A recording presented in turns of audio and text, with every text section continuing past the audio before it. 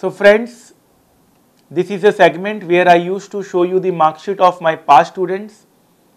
Deepak Goel scored 82% marks in SFM, FR 60 marks exemption, audit and law 40 and 42 marks and total marks is 224.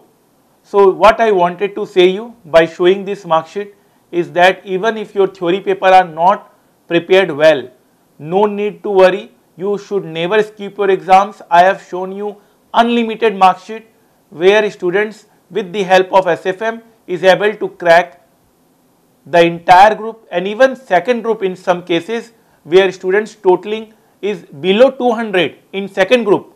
And still he is a CA and definitely the SFM marks played a very important role in his overall success and even the elective paper marks are also now been scored very well and second group elective paper is scoring and in first group SFM is scoring.